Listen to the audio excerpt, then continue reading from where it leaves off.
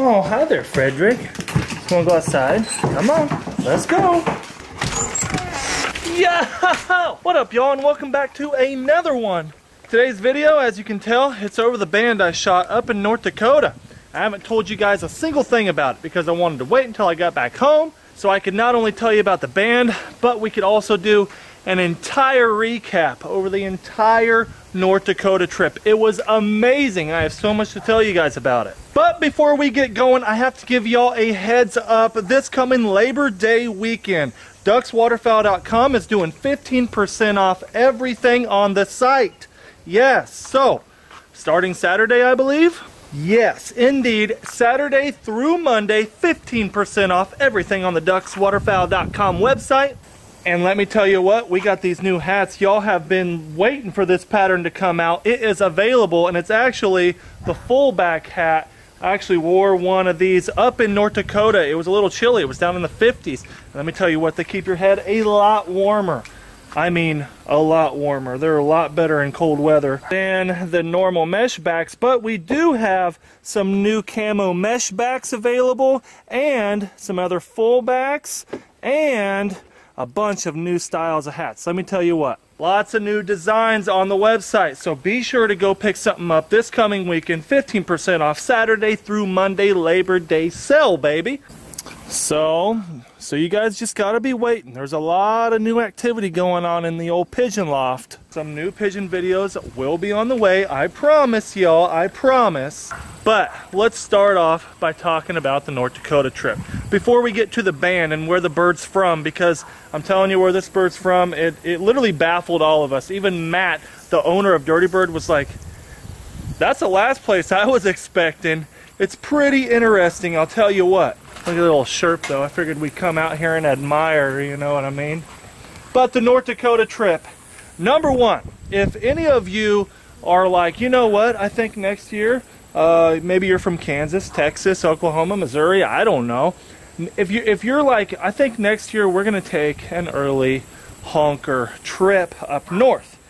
Guys, guys, guys, if you're not from North Dakota, go with a guide. Someone like Matt go with somebody like Matt from Dirty Bird.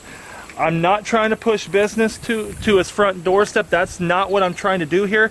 I'm trying to warn you all. If you guys don't do that, you're very, it's very likely that you will not have a good hunt like we did. Being with locals is so darn important. I cannot stress it enough. If we hadn't have been with all the locals that we were, that Matt had, uh, there was that minimum, well, actually four locals that were scouting at all times. Um, if we didn't have that availability, we wouldn't have had the two banger hunts that we did. And we darn sure wouldn't have shot that band. Yeah. The reason is, guys, is because, uh, you know, down here in Kansas, when I'm scouting all the geese that we get, which is usually a bunch of snows and a bunch of lessers, you're talking thousands at a time. You know what I mean? You're talking roosts that are lifting with 2,000, 5,000, maybe 20,000 birds lifting all at once. Guys, the biggest feed that we hunted uh, was actually this little loaf where, where we shot the band. There were 200 birds hitting that loaf pond, and that was it. All the other field feeds that we hunted, the biggest was probably 120. Uh, the first day that we hunted, the, the really banger hunt out of the hay bale blinds, you're talking 80 to 100 bird feed and we actually killed 31 of them. So I'm just trying to put it in perspective to you all. Um, early honkers, it's just it, early honkers. Uh, sometimes they're going to work really good. Sometimes they can just be extremely weary, like the last hunt that I put up.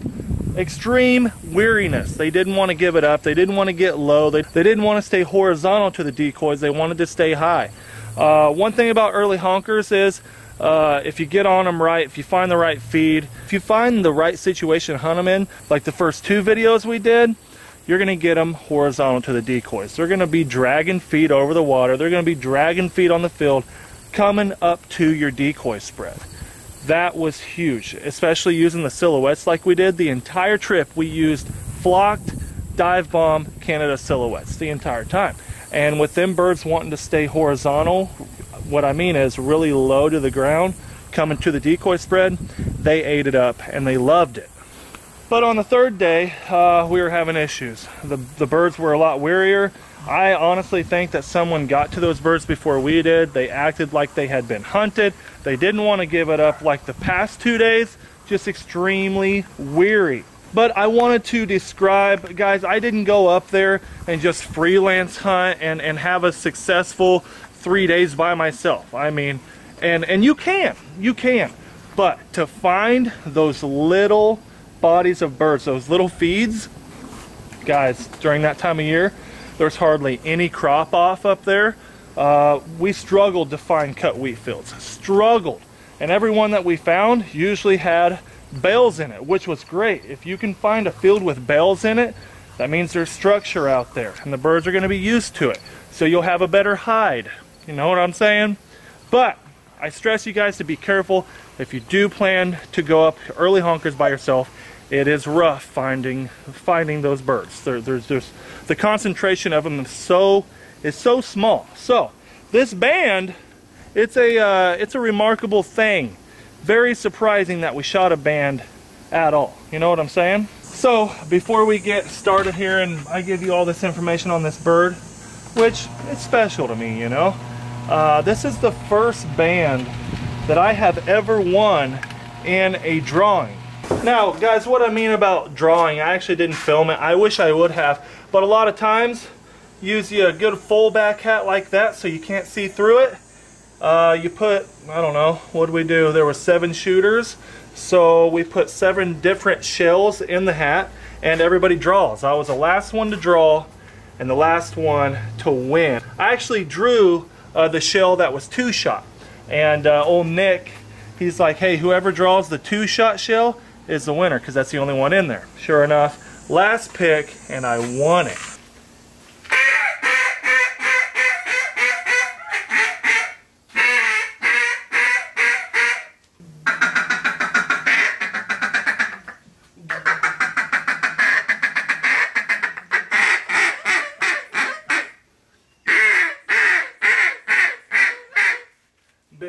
Nothing but practicing my calling, guys. The season is upon us. You guys need to be practicing. But here we go. This is the band. Check it out. I want to show you guys. I uh, actually didn't want to take it off my lanyard because the more I keep bending it right here, it's liable to break because it's literally so thin. And then right here you can tell a BB did hit it. How neat though. Uh, band number 1148-17733. Here is all the information on it right here. I actually have the entire certificate that says, Hello, dear Bobby Guy, thank you for reporting band number 1148-17733. So, you guys have to drop a comment down below. What is the oldest bird, uh, what is the craziest bird, banded bird that you've ever shot? Where is, where was it from? You know what I'm saying? So, we hunted basically Jamestown, North Dakota, around there, and uh, early season, so nothing was migrating yet. I think this is what's the catch-22 of this whole deal. Nothing was migrating yet. You know what I'm saying? It's August. This bird was uh, was banded July 2nd, 2014, so that wasn't a long time ago. Hatched in 2013 or earlier, it is a female, but here is the big catch-22 banded near Ponca City, Kay County, Oklahoma. What the heck is it doing up there? You know what I'm saying? Because here's the thing, is they usually ban birds. Actually, they do ban birds all the time in the off season. So July, June, I don't know, August maybe. I've never done it. I really want to ban some birds, but in the off seasons when they've been banned birds. So this bird was banded in the off season and then shot in the extreme early season of August 2019. Pretty pretty wild that a, a bird was banded a state south of my home state, but then I go way way north. It's not even migratory time, you know what I mean? They're not flying. They they are not migrating yet. And I shoot that bird way north of my state. Just just pretty interesting, you know what I'm saying? None of us ever, ever, ever figured that the bird was going to be from Oklahoma. Uh, that area in North Dakota, uh, Minnesota, up there, close to the border of Canada, they do a lot of banding up there and a lot. So we were like, oh, for sure, that's a local bird. You know what I'm saying? Probably from around the area. No big deal. The boys all went into town to go get some food and stuff. So I was like, hey, I'm gonna, I'm gonna turn in this band and, and I'm gonna see where it's from and I'm gonna chill out and edit some video. And they're like, okay. Well, I called them and I'm like, you'll never guess where it was. None of them could guess. And when I told them, Matt was just like, I have never saw a banded bird from Oklahoma come out of North Dakota at all. So, if any of you have ever shot a bird from Oklahoma, uh, drop a comment down below. What was the date it was banded? It's pretty pretty interesting because that's so southern. It's so south. You know what I'm saying? Wild. Just wild. Fred, heel. Good. Sit. Fred, place. Good. Sit. That's a good boy. That's daddy's boy right there. That's daddy's boy right there. Had a lot of you guys been uh, messaging me about Fred, and you're like, Bobby, uh, what type of obedience did he have? Because he's really good, and he is. He got he got four to six months of obedience uh, from my partner I got him from. So he'll be ready to go this season. I literally just know he will. So. But I hope you guys enjoyed today's video. I know it wasn't jam-packed full of crazy shooting and, and goose hunting. I know, I know. I miss it already myself. The North Dakota videos went way too fast. Uh, but I'm glad that it was a good trip. I am extremely stoked that I got a band out of the deal. Insane, I know. You would think that I'd have a lot more bands on my lanyard, but here in Kansas, guys, we do not shoot a lot of bands. You're dealing with lessers here, not honkers. So uh, with the abundance of lessers, uh, a, a, banded lesser is a, is a unicorn. It's not as abundant as a honker, if, if that makes any sense. So uh, I've heard that the lesser hatch report is up 550%. So that is just insane. Incredible numbers this year. The ducks are up a little bit. The snow numbers are up from last year, which is good. Thank goodness, you know what I'm saying? But um, again, I hope you guys enjoyed the video. If you want me to do a hatch video over this year's hatch, maybe we can talk species and, and numbers and what we should be expecting to see. Drop a comment down below. Let me know what you guys want to see for videos. Uh, dove is right around the corner. You guys be expecting dove hunting teal hunting. The season is upon us, guys. It's pretty much knocking out the door now. But be sure to subscribe if you haven't. Hit that little notification bell down there. It'll notify you every single time your boy uploads. But like I said, Labor Day sale, duxwaterfowl.com, 15% off of everything Saturday through Monday. Gonna be a good one. Don't miss it. Don't miss out on saving a little bit of jack. But until next time.